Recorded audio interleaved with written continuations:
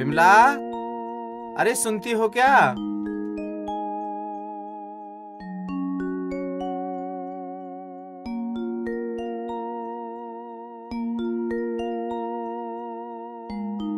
अरे सुनो बिमला आज हमारा दीपक सात वर्ष का हो गया है।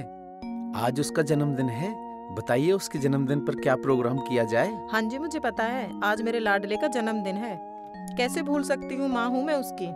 हाँ तो बताओ। आज उसके जन्मदिन पे क्या क्या बनवाया जाए? और उसके कपड़े वगैरह? अरे तुम कपड़ों की चिंता मत करो वो सब मैंने पहले से खरीद के रख दिए हैं। मैंने पहले ही तैयारी कर ली है। बस आप एक काम कीजिए अपने दीपक के लिए एक सोने की चैन बनवा दीजिए। अरे सुनो बिमला चैन तो मैं बनवा दूँगा लेकिन अभी हमारा दीपक बहुत छोटा है। वो कहीं गेर देगा या कोई राह चलता हुआ उससे छीन कर ले जाएगा। अभी थोड़ा सा और बड़ा होने दो फिर उसके लिए चैन बनवा दूँगा समझी? आप हमेशा ऐसी ही बातें करते हो। हमने जब भी किसी काम के लिए कहा है कोई ना कोई बहाना बना के टाल मटोल कर देते हो। वो हमारी पड़ोसन है ना निर्मला? उसका पति तो आपकी हैसियत के सामने कुछ भी नहीं है। पिछले महीने उसके बेटे का जन्मदिन था। उसने उसको एक तोले की चैन बनवा कर दी। एक तुम हो कि बस ऐसे ही टाल मटोल करते रहते हो। हम्म,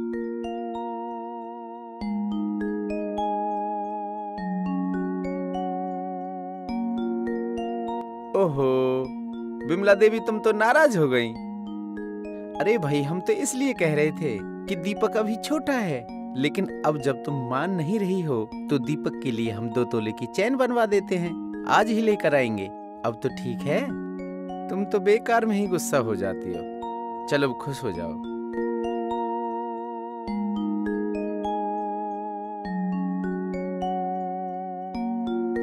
जय श्री श्याम। जय श्री श्याम। जय श्री श्याम।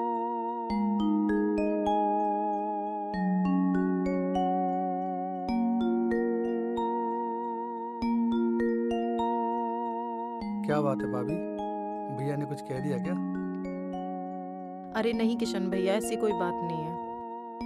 अरे किशन मैं तो तुम्हारी भाभी से ऐसे ही मज़ाक कर रहा था। झूठ क्यों बोल रहे हो जी? क्या तुमने मेरा दिल नहीं दुखाया? ऐसा एक बार नहीं कई बार हुआ है। क्यों बड़े भैया? भाभी सच बोल रही है ना? अरे भाई किशन अपनी भाभी से ही पूछ लो सच क्या है। अरे भाभी आप ही बता दो क्या बात हुई किशन भैया आज दीपक का जन्मदिन है। मैंने इनसे कहा कि दीपक के जन्मदिन पर उसको एक सोने की चैन दिला दो। बस लगे मना करने तो मैं भी चुप हो गई। बड़े भैया मान लो ना भाभी की बात। और ला दो एक प्यारी सी चैन हमारे दीपक के लिए। अरे किशन मैंने तुम्हारी भाभी से कह तो दिया कि मैं ले आऊँगा चैन। अरे उसके अलावा और भी तो तैयारियाँ करनी है। उनके बारे में भी तो सोचो। सोचना क्या है? शाम को केक काटने के बाद खाने की पूरी तैयारी है। बस आप जल्दी जाकर मेरा मतलब ये है कि हमारे बेटे के लिए चैन ले आना। बड़े भैया मैं कहना चाह रहा था कि शाम को दीपक को ले जाकर श्याम बाबा के मंदिर में प्रसाद चढ़ाकर उनका भी आशीर्वाद ले लेते हैं। हाँ किशन कहे तो तुम सही रहे हो। तुम एक काम करना तुम दीपक को साथ लेकर और प्रसाद चढ़ा करके बाबा का आशीर्वाद ले लेना। तब तक मैं और तुम्हारी भाभी यहाँ की व्यवस्था देखते हैं। किशन भैया, मैं बाज़ार से सजावट का सामान ले आती हूँ। गुब्बारे, झालर वगैरह, उनसे अच्छी तरीके से घर को सजाना है। सुनो जी, मैं निर्मला के घर जा रही हूँ। उनको शाम को बुलाना है। नहीं तो वो कहेंगी कि अपने बेटे के जन्मदिन पे बुलाया नहीं। उसने भी तो हमें बुलाया था। इसीलिए हमें भी उसे बुलाना पड़ेगा। ठीक है भाई। जिसे आप चाहो, उन्हें बुलाओ। हम कब मना कर रहे हैं? और हाँ अपने घर पर फ़ोन कर लो। वो कहीं नाराज़ ना हो जाए। मैं क्यों फ़ोन करूँ? ससुराल वाले तुम्हारे हैं। बुलाना चाहो या नहीं तुम्हारी मर्ज़ी है। मैं कुछ नहीं जानती। ठीक है विमला देवी मैं ही अपने ससुराल वालों को नौता दूँगा। तुम अपनी पड़ोसनों को बुलाने जाओ नहीं तो वो नाराज़ हो जाएँगी। ठीक है मैं जाती हूँ लेकिन तुम भी जल्दी जाओ। और सुनार के यहाँ से दीपक के लिए बड़ी सुंदर सी चैन लेके आना। जल्दी जाओ समय बहुत हो रहा है। जाता हूँ बाबा जाता हूँ। और कोई हुक्म मेरे आका? और कुछ नहीं जी। अरे हाँ याद आया। आप जब वापस आओ ना तो फूल माला लेते आना उधर से। अरे भाई ये फूल माला किस लिए? क्या करोगी इन फूल मालाओं का? एक आपके गले में डालूँगी एक अपने गले में डालूँगी। अरे आप तो कुछ समझते नहीं हो। दीपक को पहले हम फूल माला पहनाएँगे फिर उसे अपने हाथों से चैन पहनाऊँगी। ये भी खूब रही। चैन लाए हम और पहनाओ आप। अरे आप ही पहना देना पहले लेकर तो आइए। ठीक है मैं जा रहा हूँ। तुम घर का काम संभालो। और हाँ सुनो जल्दी आना कहीं रास्ते में लग जाओ दोस्तों से बतियाने। याद रखना। ठीक है जल्दी आ जाऊँगा। अब मैं जाऊँ तुम कहो तो। हाँ हाँ जाओ मैं कब रोक रही हूँ? बस याद रखना जल्दी आ जाना। भाभी भाभी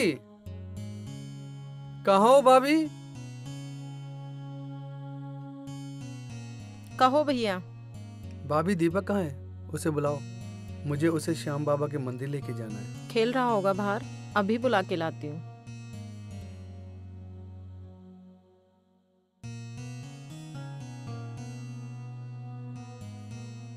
ये लो किशन भैया आ गया दीपक।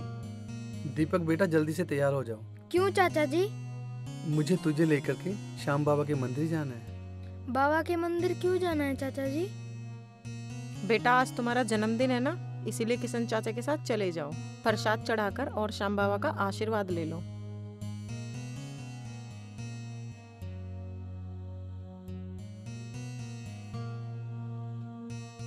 पापा आप दीपक भैया को लेके कहा जा रहे हो? बेटा आज आपके दीपक भैया का जन्मदिन है ना? मैं उसे श्याम बाबा के मंदिर लेकर जा रहा हूँ। क्या? श्याम बाबा के मंदिर? हाँ बेटा श्याम बाबा के मंदिर। पापा जी मैं भी। आपके और दीपक भैया के साथ श्याम बाबा के मंदिर जाऊँगी। पापा जी मुझे भी ले चलो ना। क्यों? तुम क्यों जाओगी?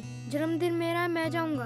दीपक भैया मैं आपकी छोटी बहन हूँ। मैं भी मंदिर जाऊँगी आपके साथ।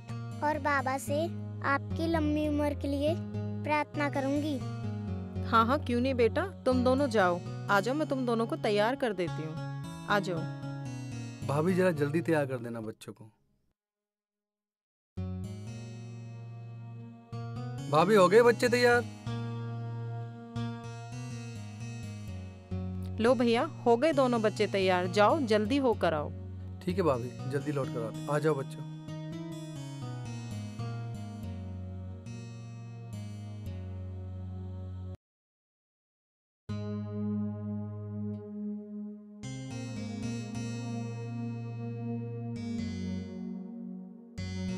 बिमला? अरे ओ बिमला कहाँ हो? हाँ जी क्यों शोर मचा रहे हो? पूरा घर सर पे उठा रखा है। कहो क्या बात करनी है? ओहो हम बोले तो घर सर पर उठा रखा है और तुम बोलो तो ज़मीन पर। ये देखो मैं तुम्हारे दीपक के लिए चैन ले आया। चैन ले आए? आप सच में बहुत अच्छे हो। ओहो चैन ले आए तो हम अच्छे हो गए नहीं तो हम बुरे थे। अजी मेरा वो मतलब नहीं था जो आप समझ रहे हो।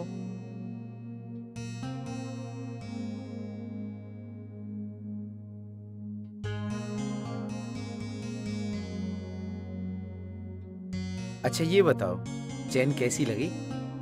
बहुत सुंदर है जी। मेरे दीपक के गले में बहुत सुंदर लगेगी। आने दो दीपक को उसके गले में पहना दूँगी। अरे वो आपके लाडले बेटे दिखाई नहीं दे रहे।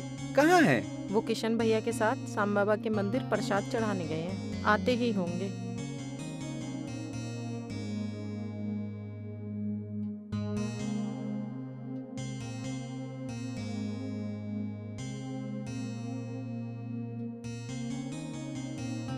ये लो भाभी जी। बाबा का प्रसाद। और पंडित जी कह रहे थे अब की बार पूरे परिवार को आना है एक साथ में। ठीक है अगले संडे हम सब साम बाबा के मंदिर चलेंगे। दीपक बेटा इधर आओ देखो तुम्हारे लिए तुम्हारे पापा कितना कीमती तोहफा लेके आए हैं। ये देखो सोने की चैन। सोने की चैन? मैं इसे जल्दी मेरे गले में पहना दूँ। इसको पहन कर ना मैं अपने सभी दोस्तों को दिखाऊँगा कि मेरे पापा ने ना मुझे सोने की चैन दी है। थैंक यू पापा। ठीक है बेटा इसे गले में डाल के रखना। और हाँ कहीं खो मत देना इसको। ठीक है पापा। मैं इसको बहुत संभाल के रखूँगा। इसे कहीं नहीं कहूँगा। आओ दीपक बेटा मेरे पास आओ मैं तुम्हें ये चैन पहना देती हूँ।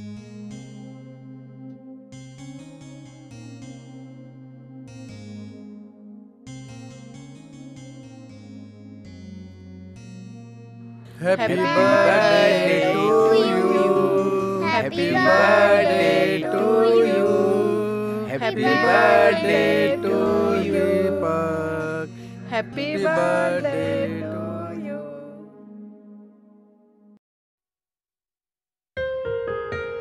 चाचा जी आप बॉलिंग करो मैं बैटिंग करता हूँ चल ठीक है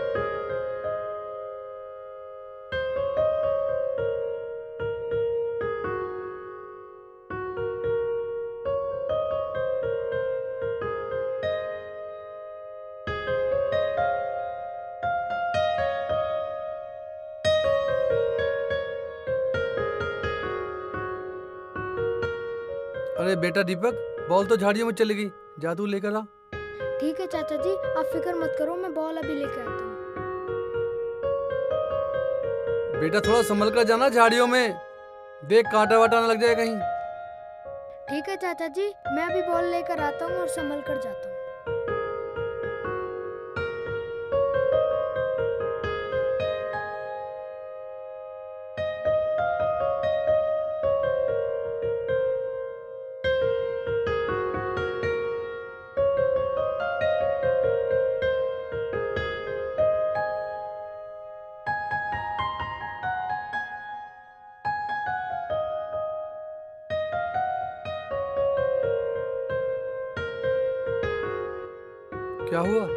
जी बॉल तो कहीं दिखाई नहीं दे रही। चल, मैं ढूंढवाता हूँ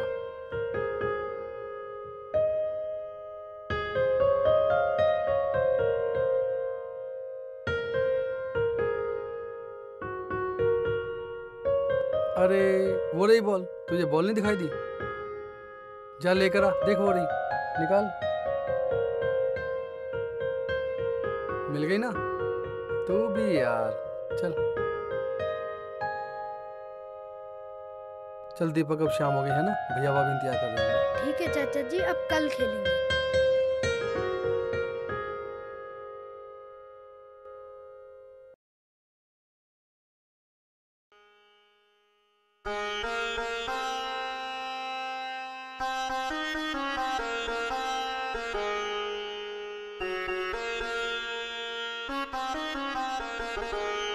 दीपक रोशनी? देखो बेटा मैं तुम्हारे लिए क्या लाया हूँ?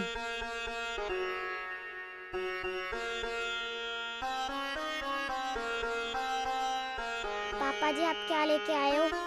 देखो बेटा तुम्हारे लिए मैं तुम्हारी जैसी एक बहुत ही प्यारी सी गुड़िया लेकर आया हूँ। ये लो।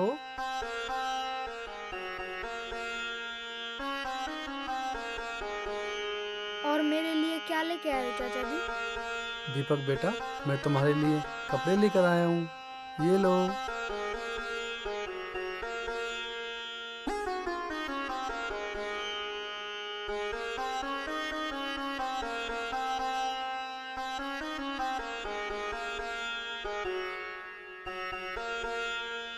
ये तो बहुत अच्छे कपड़े हैं चाचा जी। चाचा जी आप बहुत अच्छे हैं। रोशनी के लिए गुड़िया और मेरे लिए कपड़े लेके आए पापा जी हम खेलने जाए। चाचा जी हम खेलने जाए। हाँ बेटा जाओ खेलो।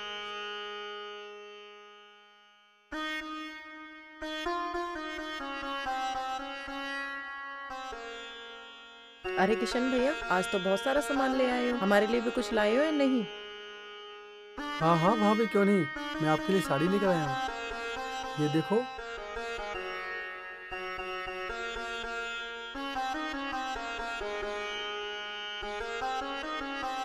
अरे वाह बहुत सुंदर साड़ी है भैया बिल्कुल मेरी पसंद की। पसंद आई ना आपको? हम्म, है ना? और ये देखो बड़े भैया के लिए मैं शॉल लेकर आया हूँ। ये लो देखो। अरे वाह ये भी बहुत अच्छी है। तुम्हारे भैया पर बहुत जचेगी।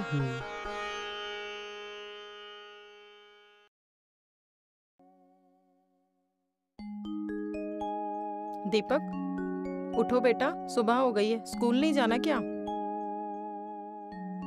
मम्मी सोने तो मुझे नींद आ रही है। थोड़ी देर में उठ जाऊँगा। सुबह के सात बज रहे हैं और आठ बजे तुम्हें स्कूल जाना है। जल्दी उठ के तैयार हो जाओ।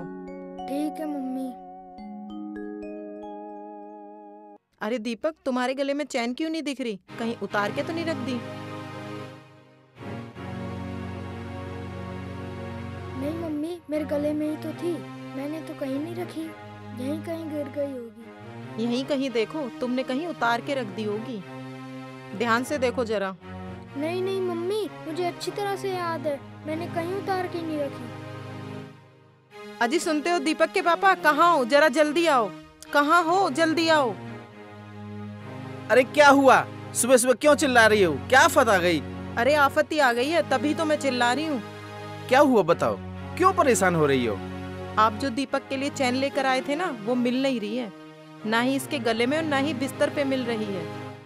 अरे ध्यान से देखो यही कहीं होगी आसपास। कहाँ जाएगी घर में से? मैंने तो यहाँ पे देख ली कहीं नहीं मिल रही। दीपक बेटा तुम ही ध्यान करो। कहीं रखकर भूल तो नहीं गए? नहीं पापा जी मैंने तो उसको गले से ही नहीं उतारा। मैं कहाँ रखूँगा? मुझे कुछ समझ नहीं आ रहा चैन कहाँ खो गई।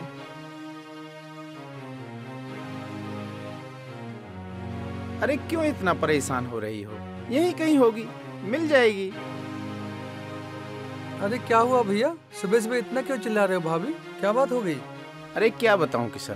जो दीपक को सोने की चैन दी थी ना पता नहीं वो कहाँ गुम हो गई है। मिली नहीं रही कहीं। अरे यही कहीं होगी भैया। मिल जाएगी कहाँ जाएगी?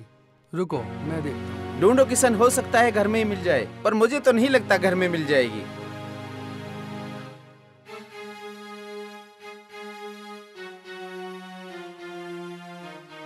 हे भगवान इतनी कीमती चैन ना जाने कहाँ खो गई।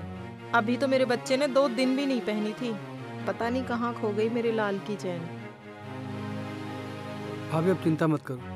श्याम बाबा से प्रार्थना करो चैन मिल जाएगी। टेंशन मत लो आप। कैसे ना परेशान हूँ? इतना बड़ा जो नुकसान हो गया है मैं कैसे सहन करूँ? हे भगवान मैं क्या करूँ? भाभी मैं श्याम बाबा के मंदिर जाता हूँ और जाकर उनसे प्रार्थना करता हूँ। हो सकता है वो हमारी प्रार्थना सुन ले और हमारी चैन मिल जाए। हो सकता नहीं है। मिल जाएगी मुझे बाबा पे पूरा भरोसा है। ठीक है जाओ। हो सकता है बाबा की कृपा हो जाए।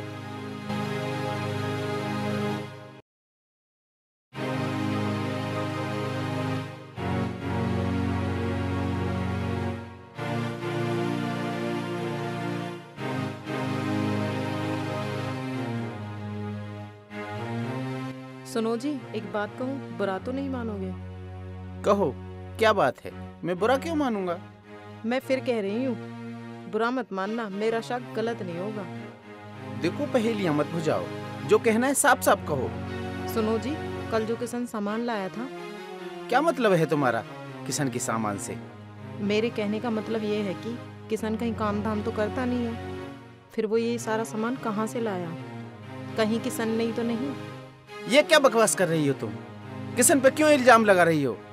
देखो मैं इल्ज़ाम नहीं लगा रही हूँ। मुझे शक है कि चैन किशन ने ही चुराई है और उसे बेचकर वो सामान लेके आया है। हो सकता है बाकी के पैसे उसके जेब में ही हो। बिमला तुम मेरे भाई पर चोरी का इल्ज़ाम लगा रही हो? समझ लो ये अगर बात झूठ निकली तो मेरे से बुरा कोई नहीं होगा। ठीक है आने दो उसे। अभी दूध का दूध और पानी का पानी हो जाएगा।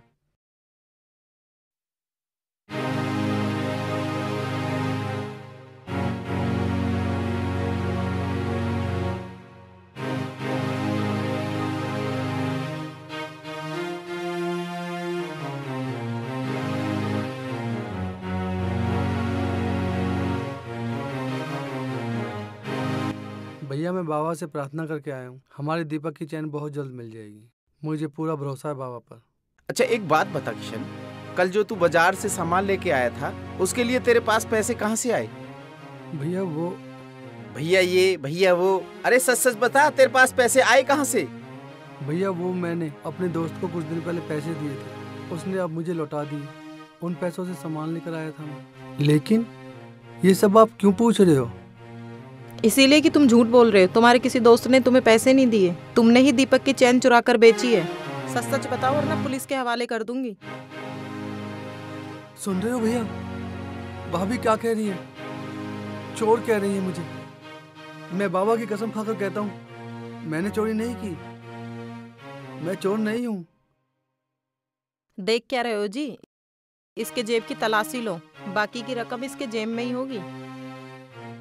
भैया तलाशी लेने की ज़रूरत नहीं है। सामान खरीदने के बाद जो पैसे बचे थे वो ये रहे। पर मैंने चोरी नहीं की भैया। सच सच बताओ नहीं तुम्हारी मार मार कर खालो धेर दूँगा। मैं सच कह रहा हूँ बड़े भैया मैंने दीपक की चैन नहीं चुराई। मैं चोर नहीं हूँ। बड़े भैया चाहे मार मार कर मेरी खाल उधेड़ दो पर मैंने चोरी नहीं की भैया मैंने चोरी नहीं की। तू ऐसे नहीं मानेगा जब तक तुझमें मार नहीं पड़ेगी।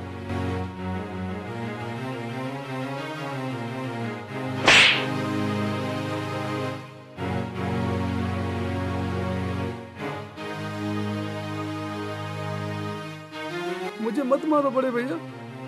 मैंने चोरी नहीं की। मैं बेकसूर हूँ भैया। मुझे मत मारो। ताऊ जी मेरे पापा को मत मारो।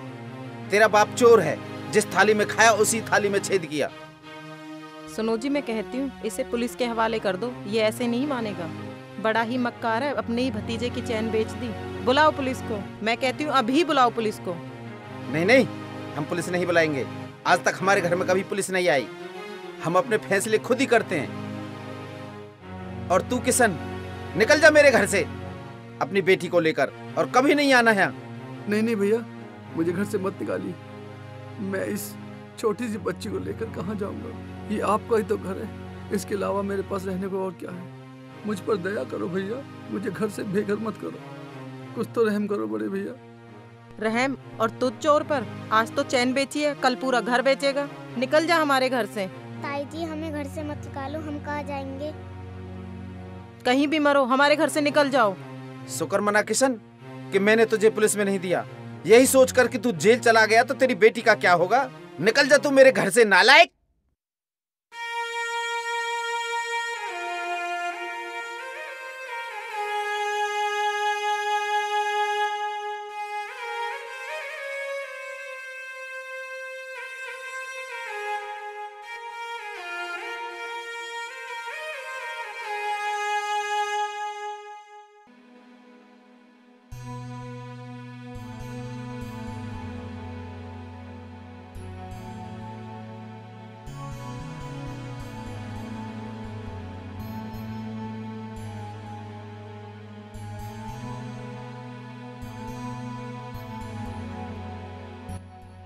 हे श्याम बाबा, आप तो जानते हो, मैंने चोरी नहीं की, फिर भी भैया भाभी ने मुझे और मेरी बेटी को, हम दोनों को घर से निकाल दिया।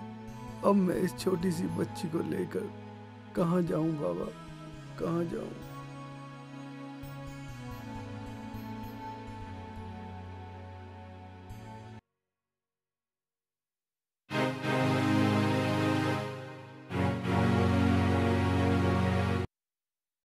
पापा।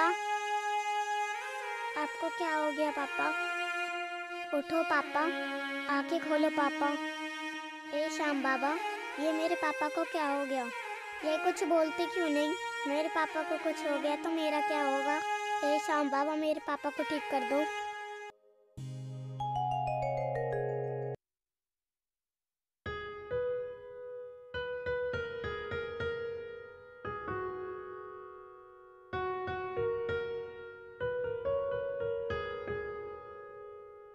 क्या हुआ बेटा? तुम क्यों परेशान हो? और इन्हें क्या हुआ? पता नहीं बाबा जी मेरे पापा को क्या हो गया। ये उठ भी नहीं रहे हैं और बोल भी नहीं रहे हैं। बाबा जी हमारे ताऊ जी ने पापा को बहुत मारा और चोर कहकर घर से निकाल दिया। हम जानते हैं बेटी तुम चिंता मत करो। तुम्हारे पापा बिल्कुल ठीक हो जाएँगे।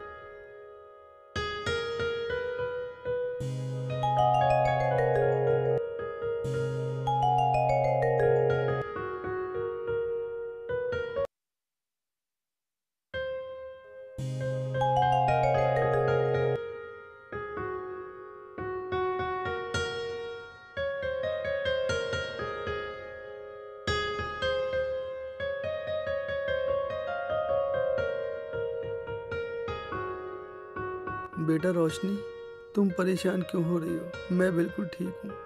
पर ये सब कुछ हुआ कैसे? मुझे क्या हो गया था बेटा?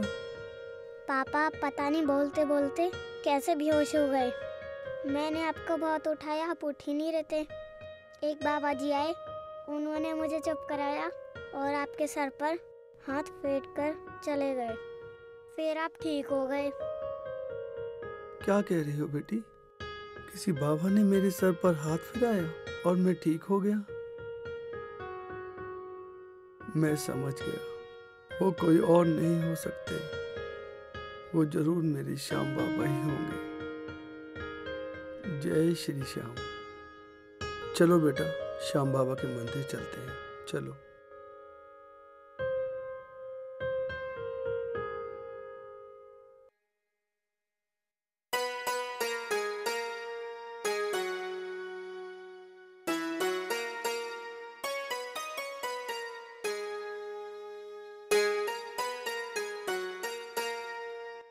रोशनी बेटा। तुम्हें भूख तो नहीं लगी?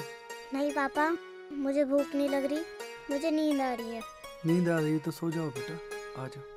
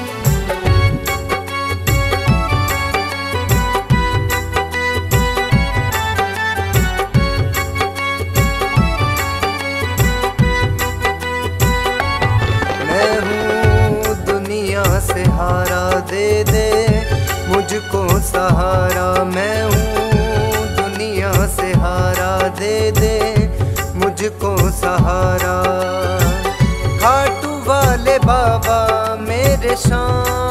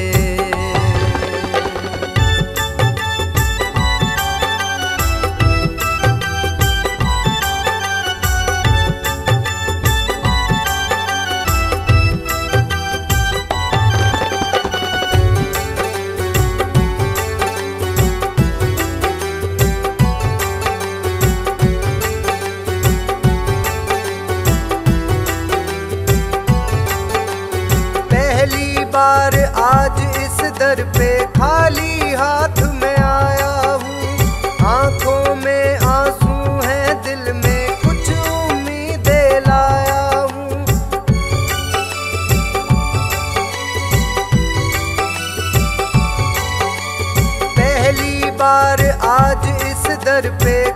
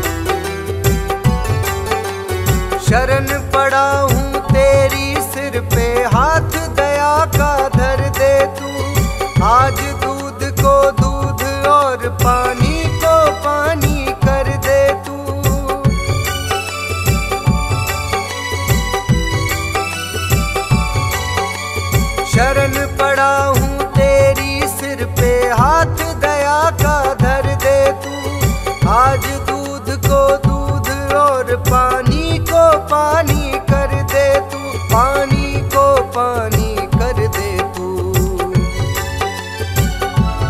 सब है तेरे हाथ, फिर क्यों मेरे साथ? सब है तेरे हाथ, फिर क्यों मेरे साथ? हो रहा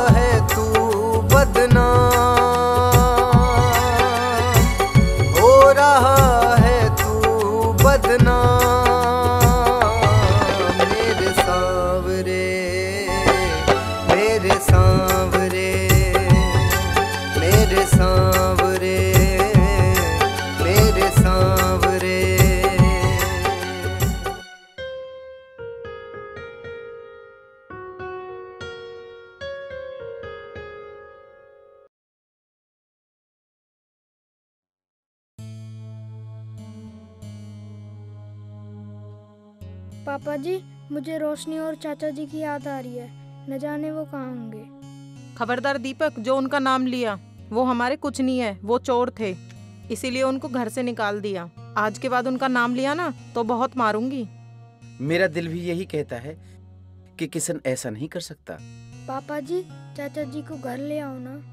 मुझे उनके बिना अच्छा नहीं लगता। तुम बाप बेटो की अकल पे पत्थर पड़ गए हैं क्या? जो उन्हें घर लाने की सोच रहे हो। घर में और कुछ चुरवाना बाकी है तो उन्हें बुला लो। चुप रहो बिमला। मेरा भाई चोर नहीं है। मेरा भाई चोर नहीं है। मेरा भाई चोर नहीं है। मेरा भाई चोर नहीं है। मेरा भाई चोर नहीं है। हे भगवान क्या हो गया? क्या हो गया तुम्हें? मम्मी कुछ करो। पापा! पापा! ये कुछ बोलते क्यों नहीं? कुछ तो बोलो। सुनते क्यों नहीं तुम?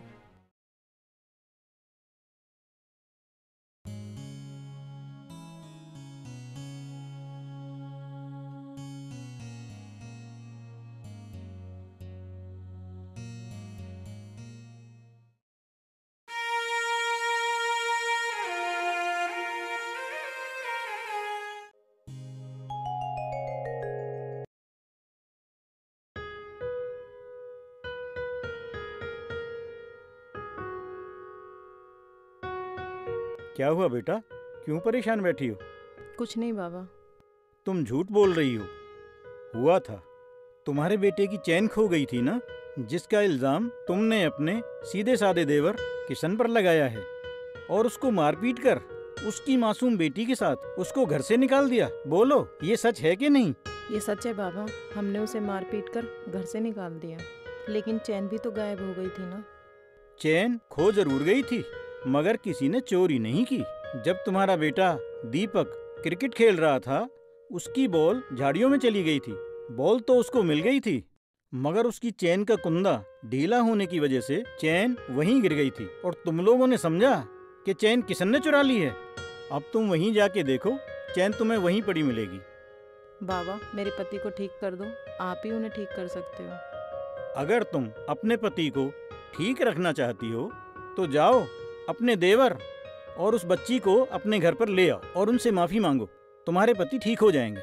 शीघ्र जाओ कहीं देर ना हो जाए। मैं अभी जाती हूँ उनसे माफ़ी मांगकर उन्हें घर ले आती हूँ। पर बाबा मैं उन्हें ढूंढूँगी कहाँ? मिल जाएँगे। सोना रोड पर जो नया मंदिर है वो वहीं होंगे।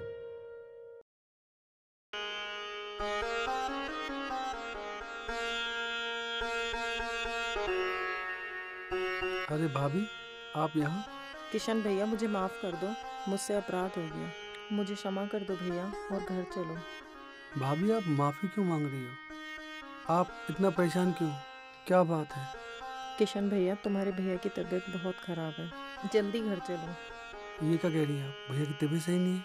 चलो जल्दी चलो। घर चलते हैं। आओ।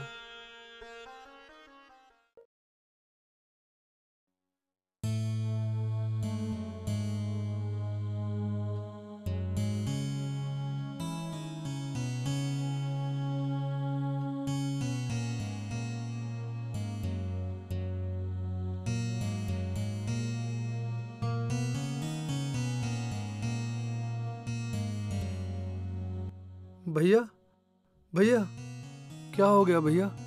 आँखें खोलो भैया। देखो मैं आ गया। भैया, तुम्हारा किशन आ गया भैया। आँखें खोलो भैया। हे श्याम बाबा, मेरे भैया को ठीक कर दो बाबा।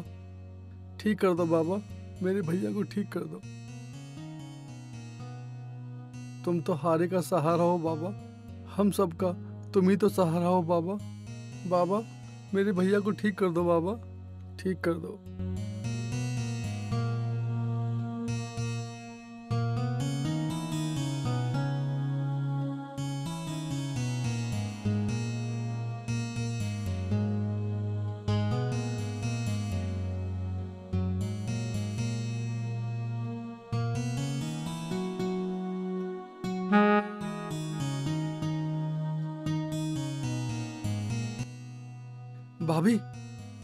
भाभी भाभी देखो देखो भैया को होश आ गया। हमारी प्रार्थना बाबा ने सुन ली सुन ली हमारी श्याम बाबा ने।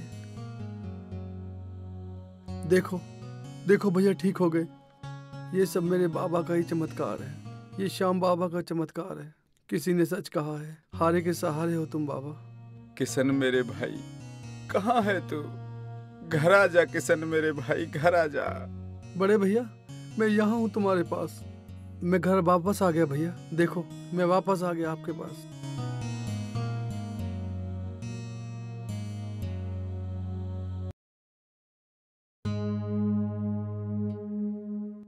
किशन मेरे भाई, मुझे माफ़ कर दे।